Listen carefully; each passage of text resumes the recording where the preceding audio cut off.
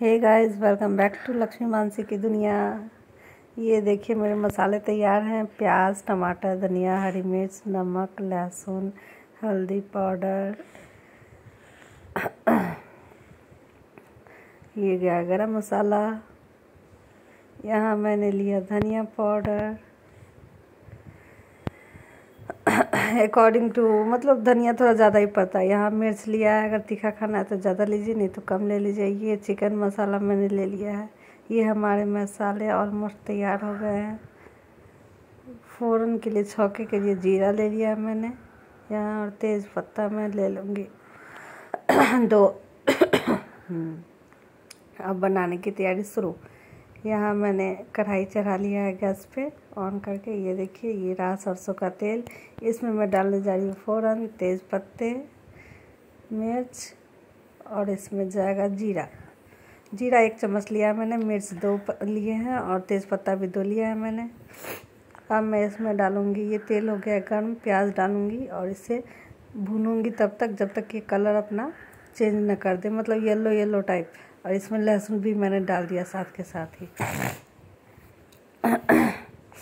तो ये देखिए, ये ऑलमोस्ट पक गया है, प्याज देखने में सही लग रहा है। अब इसी टाइम में इसमें डालूँगी पोठा। मैंने अच्छे से वाश करके रखा हुआ है। ये देखिए, जुकाम की वजह से मुझे खांसी आ रही है। सर्दी जुकाम हो रखा है।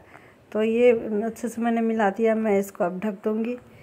हर हर पाँच मिनट, दस मिनट में इसे मैं चेक करती रहूँगी। फिर से मैं अब इसे मिलाऊँगी, देखिए। ये प्याज और पोठा दोनों साथ साथ भूनते भी रहेगा और सीजते भी रहेगा। एक्चुअली पोठा सीजने में बहुत टाइम लगता है, इसीलिए। अब इसमें मैं मसाले डाल रही हूँ, जिसमें टमाटर है, मसाला है, धनिया पत्ता है। इसको भी मैं साथ के साथ भूजूँगी खूब।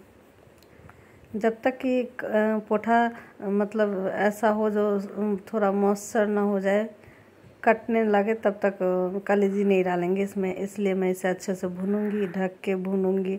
मतलब कम से कम दस पंद्रह मिनट लग थोड़ा सा पानी डाल के मैं इसे अच्छे से भूनूँगी।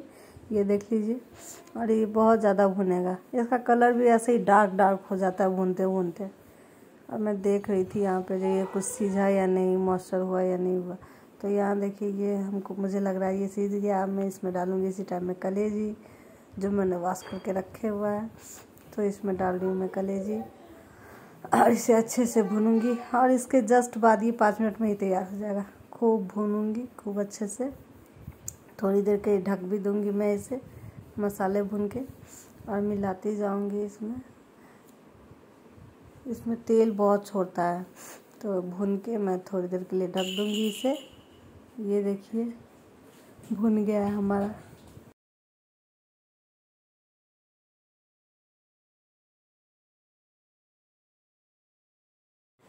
तो ये रहा हमारा कलेजी पोठा तैयार हो गया है। यहाँ पे मैं चेक कर लूँगी और टेस्ट के लिए पहले से ही निकाल लूँगी मैं। देखिए, ये बन गया है। मैंने कट करके भी देख लिया है। ये देखने में जितना लजीज लग रहा है, उतना ही खाने में टेस्टी था। तो मैंने बना लिया है और टेस्ट के लिए मैंने एक निकाल भी रखा है। देखिए, मैंने कट के चेक कर लिया था। ये रहा जो मैं टेस्ट किया मैंने पहले। और यहाँ मैं गैस फ्लेम ऑफ़ कर दूँगी क्योंकि ये बन गया है।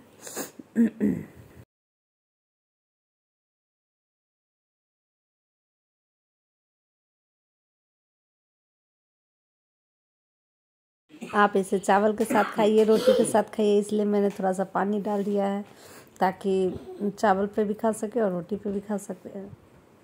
और ये देखिए फाइनली मैंने खाने के लिए निकाला है रोटी के साथ। देखने में बहुत टेस्टी है और खाने में भी उतना ही टेस्टी है। आप लोग ज़रूर बनाएँ इसे। Thank you thank you for watching